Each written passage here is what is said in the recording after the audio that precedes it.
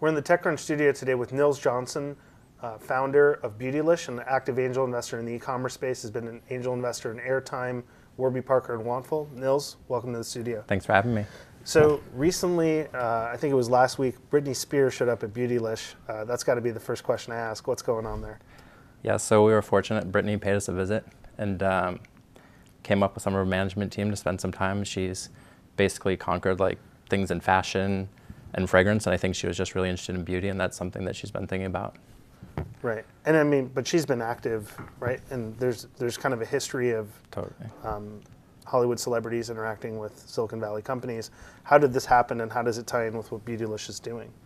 Yeah, so her team has been very active in social media, and many people don't realize she's one of the biggest on Google Plus. She's huge on Facebook. She's huge on Twitter, and so her management team, Larry, Adam, and Robin, have done just a really great job of having her out there and involved. And I think now they've just been looking at like things that Britney is personally passionate about, and beauty happens to be one of those spaces. So that's how we kind of got put together. And so, what does Beautylish do at its core that drew someone like her into into your company? Yeah, so Beautylish is a community site based on product reviews, makeup tutorials, forums, and people sharing photos of inspiring looks. And basically, our idea originated with, you know, looking at the women's space in general. Most people in the valley, as you know, just tend to ignore it as it's guys, and they're not really relating uh, firsthand to, you know, opportunities in the market. And what we'd seen in beauty was, you know, we didn't see anything that we thought was really like a market leader, most importantly. And when we examine and, and kind of step back and thinking like, how do women purchase beauty products? There was three steps of discovering a product, researching it, and transacting. And so we wanted to create a site that would really focus on the first two, which is essentially the top of the funnel, and we felt was really difficult around the discovery and research of beauty products. And so, tell us just a little bit more about the company. How long ago was it started? Who did you start it with? And sort of where are you today? Yep. So I have two co-founders. Uh, both are engineers. One was previously uh, VP of engineering with Hot or Not, uh, and another one of our co-founders was an engineer at YouTube. And so we had launched the site in about 18 months ago in October uh, 2010. And basically, again, the idea was like just building a really passionate community of sharing looks and tutorials. And then we have an editorial component of the site as well, which is something that will share new product information uh, or you know just work with brands on uh, educating and whatnot. And so it sounds like you're trying to build an entirely new brand that's online only, right? That's and so how has that, you know, have you found that to be a challenge or are people hungry for it? No, totally. I mean, our initial idea actually came from seeing what was going on with YouTube and so many of the makeup tutorials becoming really popular on the platform. And so we recognize like young girls, this is actually a shift of behavior of how people are learning about beauty products and online, particularly through the use of video, has been the best way to share product information. And so, you know, taking kind of that cue was originally where we had had the idea to get started. I see. And so steps for the future or, or into 2012, like what are your your goals for for Beautylish? Yeah, so we're really just trying to focus on how do we build the best tools to empower the community and how do we continue to raise the bar and inspire them, um, giving them new outlets to create. So um, again, it's just really focusing on things that the community is asking us for and, And making it- better tools for And them. it's completely fo- focused around beauty products. That's correct. I see. Now, if we step back a little bit and talk about you're, you're a very active angel investor and been quite well known. I mean, you're not on Twitter, but everyone who knows e-commerce knows who you are, and you've probably seen a lot of those deals come through. And you know, Warby Parker, Everlane, Wantful. What are the trends that you're seeing in the e-commerce space? I mean, clearly companies like Fab and other companies are building entirely online brands and just you know ripping through revenue uh, at an amazing rate. What are you seeing right on the ground? So one of the things I'm really excited about in commerce space and have been fortunate to invest in some companies like Warby and Wantful that you mentioned, uh, Yeah. another company called Everlane, is basically brands that are focusing either on creating a vertically integrated business, which is everything from making the product to delivering that and cutting out the middlemen, so they're able to offer you know better value to the consumers. And there's essentially an opportunity because cost of customer acquisition has become so low due to social media. So rather than rather than aggregating or collecting inventory or excess inventory from another supplier, these companies are actually going in and creating the glasses, creating the um, the fashion accessories that are going to be sold directly to the consumer, Exactly. and s- it's tied back into the brand. Correct. And I mean, really, that's where they have the opportunity to scale. So Warby Parker doesn't have a problem of supply running out necessarily because they are the producer. They source the goods. You know, they produce the glasses. Everlane is doing the same thing uh, in the market that they're focused on. And so I know you're very active with your companies. I know when Everlane started, it was more about aggregating, right, or sort of curating That's uh, other people. So what were the lessons there? And it seems like almost Warby learned from that Yep. uh, lesson going forward. Can you talk a little bit about that? Yeah, so I think when, when Everlane originally started, they were focused on the idea of curators and figuring out like an aesthetic and a taste level and a direction. Yeah. And really the idea was a little bit like what Zara had hit on in retail, which was, you know, look to people who have a good taste level and see what direction that leads you in from merchandising point of view. And, you know, as they had kind of started with that seed, they had some great ideas of where to get started. And now they've successfully launched probably over six collections of merchandise. This is on Everlane. Growing very quickly. That's correct, Right. on Everlane. And so then when Warby Parker started after that, they had that learning, right? Instead of instead of farming out the process for Yep. you know, building building eyeglasses, right? You're just doing it all in house. Correct. So Warby Parker was a little different situation, which was uh, the founding team had seen like you know wire glasses four hundred dollars a pair when the cost of that is just a fraction, and so they investigated the entire supply chain, um, and actually they had started um, before Everlane and, and started working on this idea. Um, but it was really like, hey, if we cut out the middlemen, which is controlled by these large conglomerates, we can deliver high quality, fashionable pair of glasses for less money.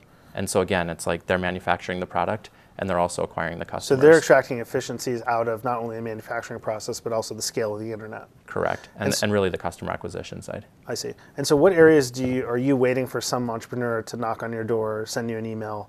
You know, in, in the same way that Warby and Everlane got to you, what areas do you think, you know, aside from beauty, um, that are just ripe for this kind of business? I mean, I think essentially if you walk through a mall and you look at a lot of the businesses that are large tenants in the mall today, I mean, there's a growing theme of um, kind of the death of retail, if you will. And a number of these categories are still wide open. And knowing that the internet is typically a winner take all business and very efficient at cutting out middlemen, I think more of these integrated models, like an Everlane, like a Warby, um, will be very successful. So that might be, you know, in the lingerie space, for example, it could be somebody doing a business like IKEA more efficiently using the web. And those are opportunities that I'm excited about and just always, you know, poking around and looking for something. And so, so just talking about the mall because this is something I'm, I'm fascinated in. I mean, I went to a mall where my folks live a couple months ago over the holidays, and I was just shocked to see the degradation and quality of stores in the mall. One, Totally. and the amount of empty spaces, and it just seemed really depressing to go in there. Totally. And I just talked to other people who went home over the holidays and across the country and felt the same thing. Totally. Clearly, there are a lot of macro things going on, but do you feel like the days of the mall are over? I, I think what's the malls are moving online. Sorry. Totally. I mean, basically, what's happened is, you know, there's a reverse network effect happening, which is when one anchor tenant closes, it actually has impact on all the other tenants that are in in that mall.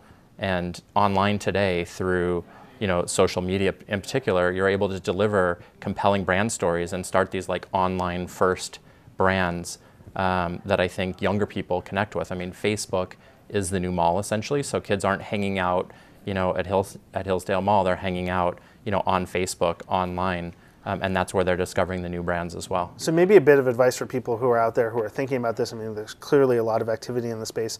How? What are some of the best learnings you've you've seen either through through Beautylish or through your angel investments about building a brand online? Right. This is where Everlane and Warby Parker Yep. are coming on. They don't have physical stores, right? But they've kind of created this brand already. Like, how do you do that? Yeah, I think it's something that's a little bit undervalued in the Valley because most success here has not been built through building brands, uh, starting off with an initial brand, but brands have been a result of becoming like dominant platforms or, you know, as the businesses have spread globally. Uh, and that's something that guys like Warby, for example, they started in New York. New York is a more brand centric um, community, ad centric community. And really taking the time and thinking about like clear messaging, quality product, what is that consumer experience going to be? And that's something that I would say is probably the most important rather than simply, um, you know, how do we scale quickly to get a bunch of traffic, um, but not having a clear brand message. And Wantful is a great example. You know, it's a great gifting service. People love it so much when they receive a Wantful gift in the mail um, that they go on and they tell other friends. And that becomes really compelling again because it's low cost uh, customer acquisition. Okay, and let's talk bro- broadly about sort of e-commerce opportunities at the seed level. You're obviously seeing a lot of things.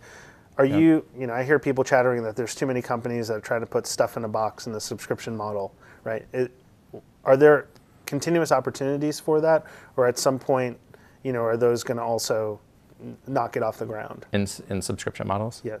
I think the subscription model is basically, you know, there, there's a few varieties of that model. There's some which are vertically integrated companies like ShoeDazzle uh, or The Honest Company or Beachmint that I think are in a little different position because they control, again, the supply of their business. Um, overall, I think one of the challenges with subscription is over time, I believe it looks a little more like an ad arbitrage business. Um, and, you know, the utmost important thing is to be providing tremendous value to your subscribers. So if you're able to provide value, Right. um, you will see some large And, companies. and so this is the effect of Netflix being so right. so dominantly successful. What what are some new pricing models that entrepreneurs out there can experiment with that you've seen coming up that you know are warrant attention?